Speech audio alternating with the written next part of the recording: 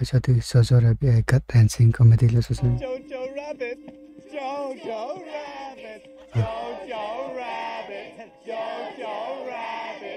Jojo Rabbit, a movie that released in 2019 with Bullying. mostly critical acclaim. It's a satirical coming of age story about a kid who grew up in Nazi Germany. This movie received a lot of great reviews and even an Oscar for Best Adapted Screenplay, but it also received a good chunk of bad reviews. So it makes me Hmm. Wonder is there something general audiences miss that makes this movie not all it's cracked up to be? Well, I don't think so. not like I this really enjoy this movie and I think there's a lot to appreciate about it. But don't let me make that decision for you. I'm going to go through the whole movie and talk about the things I think are good and the things I think are bad. And then you can make that mm-hmm. decision for yourself. I don't want to waste any more time though, so let's just dive right in. mean, the film props to the opens with. Jojo talking to himself in the mirror, hyping himself up about going to Nazi camp. We get dialogue telling us that he's completely devoted to Hitler in Germany, and this is where we get to see his imaginary friend, Hitler. And we're already to a point where I need to talk about something. This movie stirred up a good bit of controversy when it was released, which isn't at all surprising. I mean, it's a goofy movie about Nazis. Of course, it's going to stir up controversy, Yeah. but it does something that I think is important. It shows the Nazis in a defanged light. It satirizes them in a way that makes them seem completely incompetent and downright stupid at times. I think this is a good thing because it doesn't give the people who don't understand satire something to look up to. Satire is an incredibly thin line to tread, and I don't blame anyone who is put off by the Nazis' portrayal in this movie.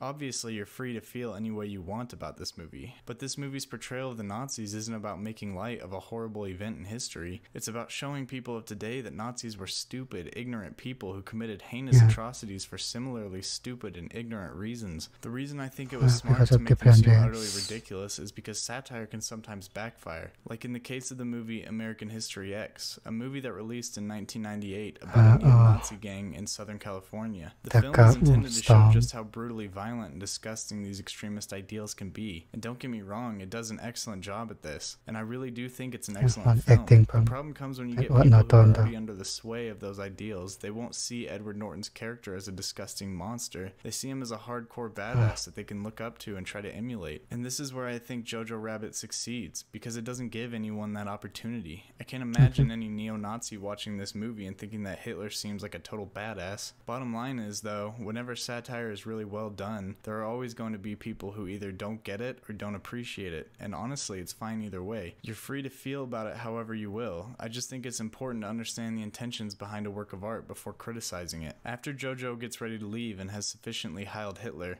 Ooh, that's it, you got it. Heil Hitler, have a great day. Heil Hitler, you're gonna be the best. Heil Hitler, you can do it. Heil Hitler. We see him running through the streets, Heil Hitler and everyone he sees, and we get these pieces of what seem to be actual Nazi propaganda. And I'm glad they threw those clips in there, because it shows us that people like Jojo really could have existed. It shows us that there really were people in Nazi Germany so enthralled and captivated by Hitler that they worshipped him, possibly in the same way Jojo does. Now Jojo is at his Hitler camp, and we get an introduction to Sam Rockwell's character, Captain Klenzendorf, who was a soldier in the German army but lost one of his eyes and is now forced to run the camp. We immediately see that Yeah, I think Klenzendorf he's is in disenfranchised.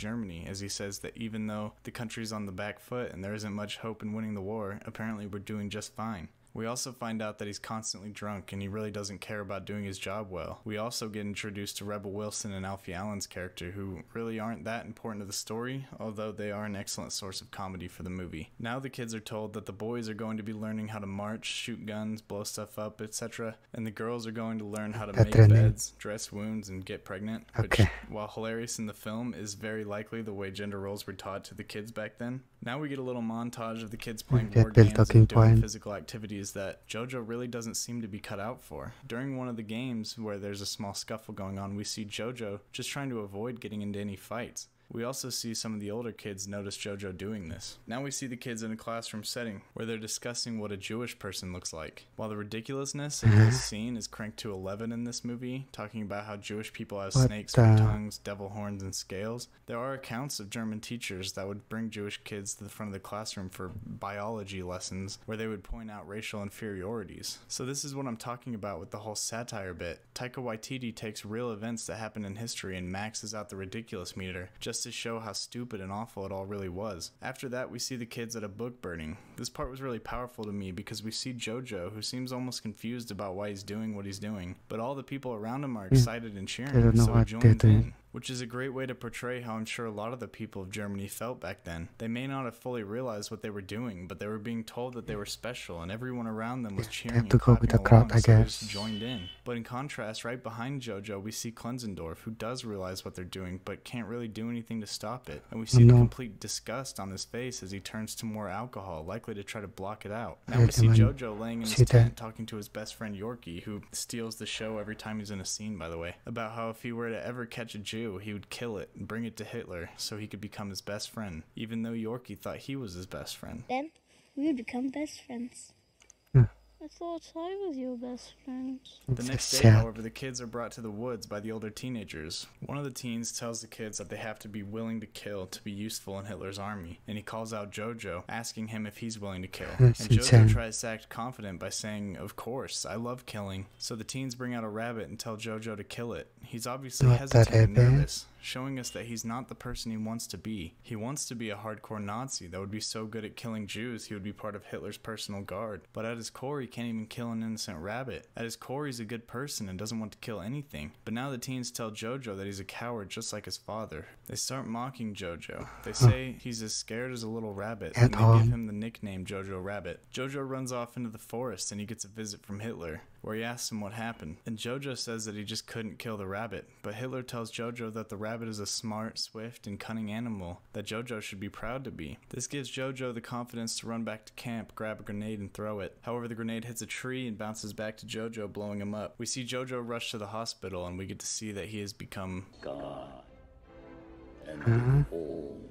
No, but honestly, they make a huge deal that JoJo looks like a disgusting monster when he's just got, you know, a couple of scars across his face. But this is also where we mm, see Into JoJo's mother, Rosie, for the first time. This character is played by Scarlett Johansson, who I'll just say now does an excellent job. Her acting and portrayal of this character are really what sucked me into this story. But I really love Rosie as a character. She's an amazingly kind-hearted and funny person, and you can easily tell just how deeply she cares for and loves JoJo. She gives JoJo the confidence to go back outside, and she gets him a job at Klenzendorf's office. His job is to go around town delivering people their conscriptions and posting propaganda Okay. flyers. But this is where we start to see the real darkness that this movie has buried underneath its comical outer layer. As they're walking in the town, we see Rosie looking at a group of people that were publicly hanged. One man with a tag on him that says "Free Germany, fight the party" shows us that these people were likely hanged for treason. Jojo asks his mother what they did, and she just replies what they could. This shows us that she appreciates what these people did, and she stands behind them. Jojo comes home after work to find that his mother isn't there, and while searching for her, he hears a noise upstairs. He goes into his sister's room and discovers a door that leads to a crawl space within the walls. Inside the crawl space, he finds a girl living there. Elsa is a Jewish girl that's been living inside the walls of Jojo's house for some time. She knows what will happen if anyone finds out she's living there, so she threatens Yeah, Jojo. like what she plays into the Jewish stereotypes and misconceptions that Jojo has been taught in order to get him to fear her. She tells him that if he lets anyone know about her, that she'll tell them he and his mother helped her, which would get them all killed. So Jojo has a discussion with Hitler about what they should do about her, coming to the conclusion that he should try to negotiate. After this goes awry, we see Rosie coming home. She's obviously trying to sneak into the house without Jojo hearing her, but he was already waiting by the door. We don't know for sure yet, but it's easy enough to assume since we already know she was supportive of the hanged people. She was likely out doing things in an attempt to sabotage the German war effort. After a conversation with Rosie about hearing noises upstairs, we see him standing outside his mother's bathroom with a fire poker, standing guard. This tells me that Jojo really is just a good kid who thinks he's doing the right thing. He's been raised to believe that Jews are evil no. and harmful, so he's just trying to protect his mother. Next, it cuts to Rosie in the crawl space with Elsa, telling her that she can't be forced to choose between her and her son. And she says that Jojo is a fanatic, that it took him three weeks to get over the fact that his grandfather wasn't blonde. But she knows her sweet, innocent little boy is still in there. This is such a tragic situation. Rosie obviously is disgusted by the ideology of the Nazis, but she's forced to allow her only child to be fully indoctrinated into it in order to protect him. Now we see Jojo at a pool designed for rehabilitation, and while Jojo is on a bed for therapy, we get a shot of Rosie's shoes, which which I'm sure is completely irrelevant. So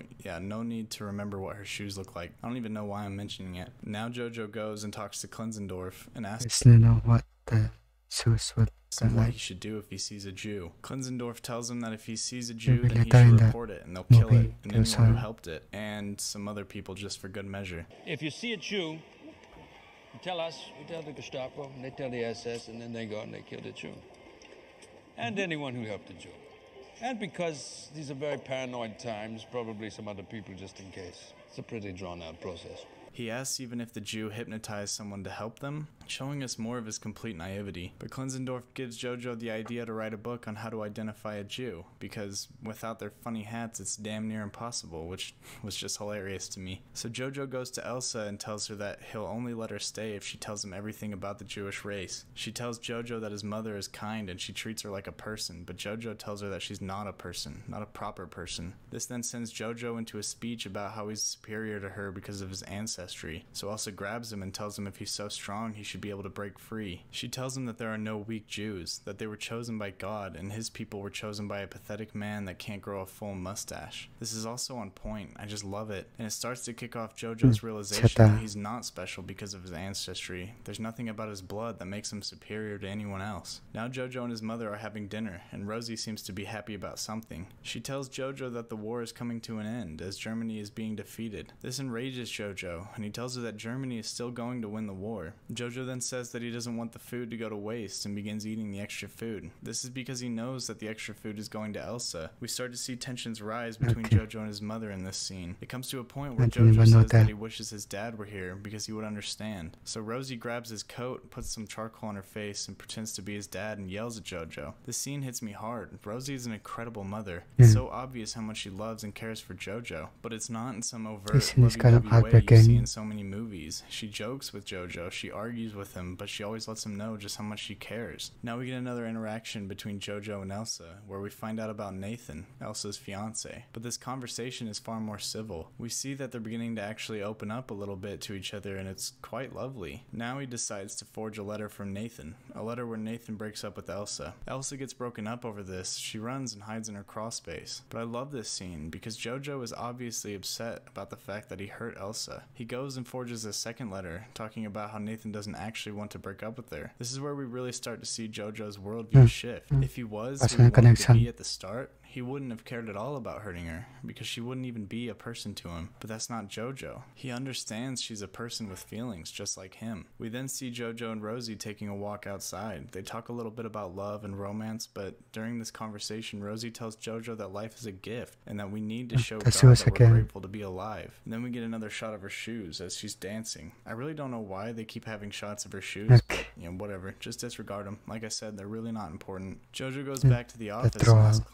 Klenzendorf about Jews. Klenzendorf says he has no time as he's trying to plan a defense of the city, telling us there will be an invasion soon. But he tells Klenzendorf about his book that he's writing, and Klenzendorf laughs at it. But he shows Jojo the uniform he's been working on, which gets me every time. The feathers for aerodynamics, the sparkly color Oh, to no. dazzle the enemy, the boots truly decorative. He did well in the last sense. This is a Gatling gun mounted with a radio which emits annoying music to dishearten the enemy.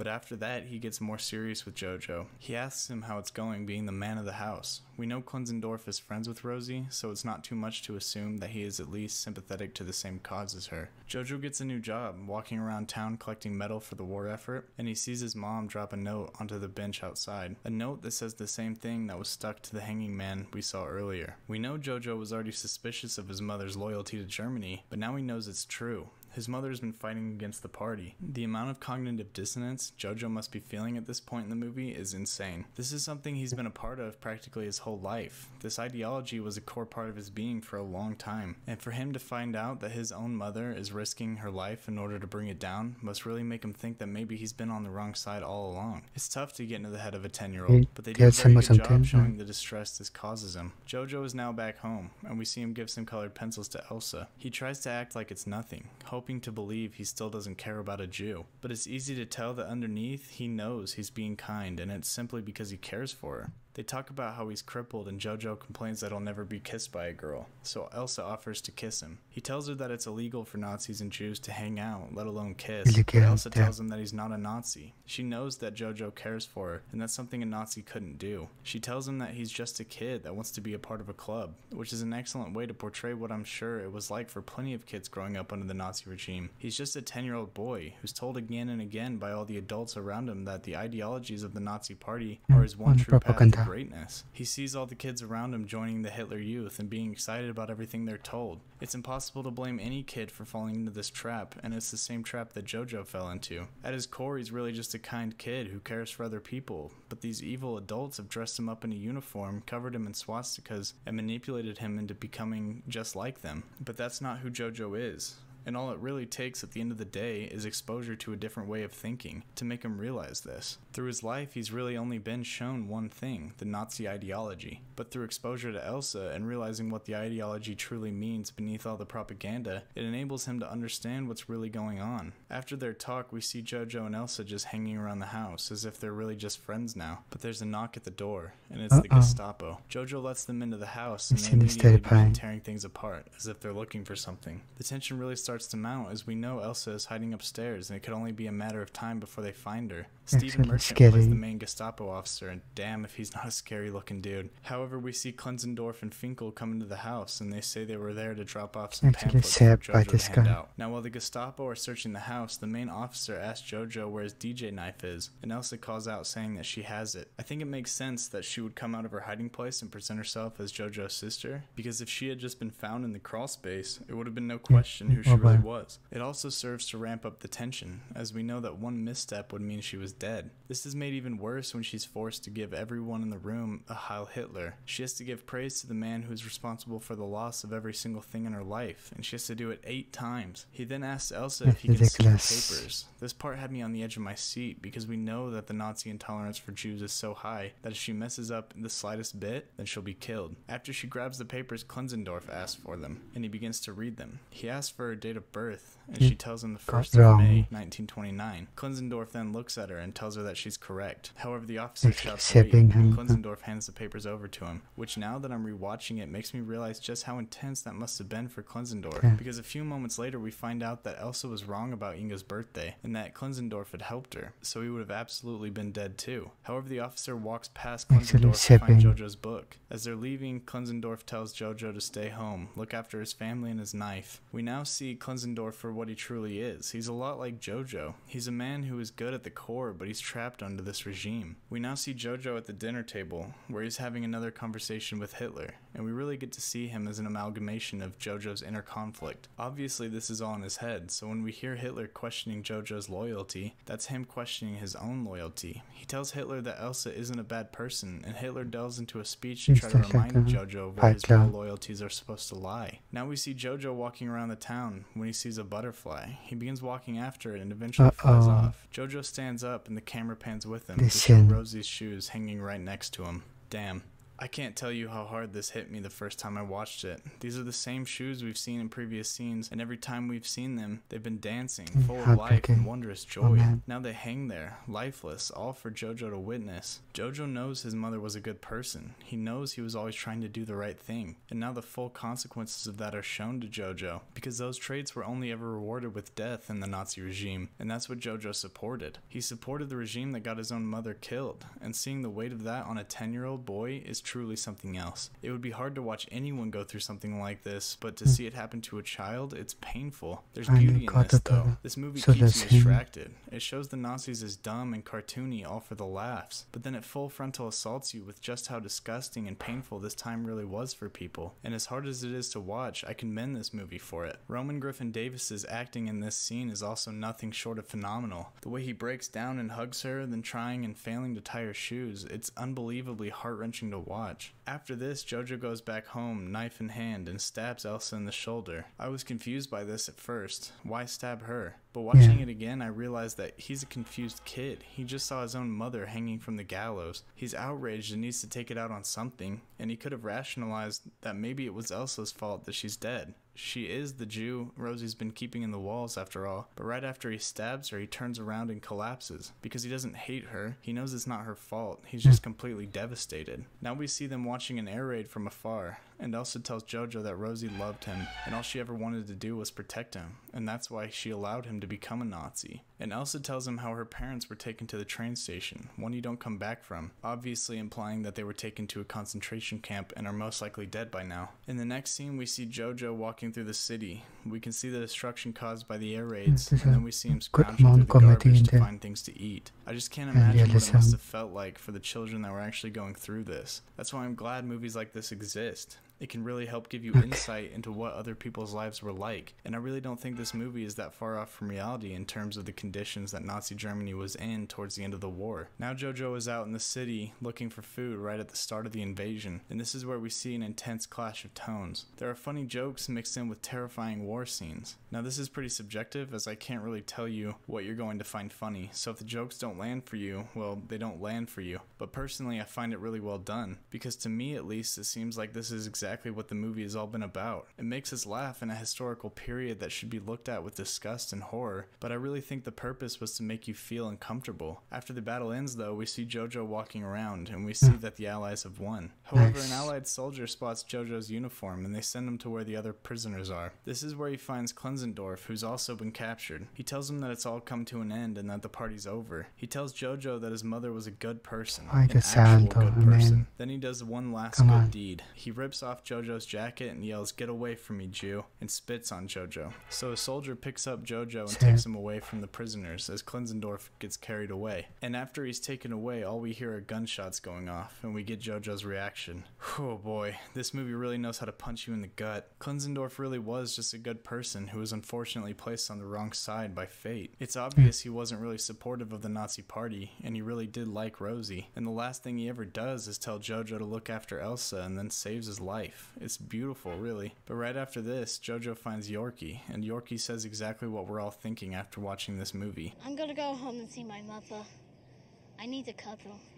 But he also says that now that the war is over, Elsa can finally be free, and she can finally leave. So Jojo runs home to find her and tell her what happened, but he lies to her. He tells her that Germany won the war, and it's because he just doesn't want Elsa to leave. She's the only person he really has left in his life, and if she leaves, he'll truly be alone. But he realizes that he won't be able to lie to her forever, so he goes back and fakes another letter from Nathan. Mm, Jojo tells her that he and Nathan have devised a plan for her to escape, and that they can live together in Paris, and for her to not worry about Jojo. This is where we get to see great character growth out of him. He went from wanting Elsa dead to becoming her friend Anything to you being able to set her free because he knows it's what's best for her, even if that means being left utterly alone. But after telling her all this, Elsa tells him that Nathan had died last year from tuberculosis, letting Jojo know that she's known the whole time that he'd been faking these letters. So Jojo tells her that he loves her, even though she thinks of him as a younger brother, and he tells her that he really has found a way for her to escape. But when he's getting ready to leave, he gets another visit from Hitler, who now has a bullet hole in the side of his head. one. Hitler tells him that he needs to get rid of the Jew girl and come back to where he belongs. But Jojo says, har det sen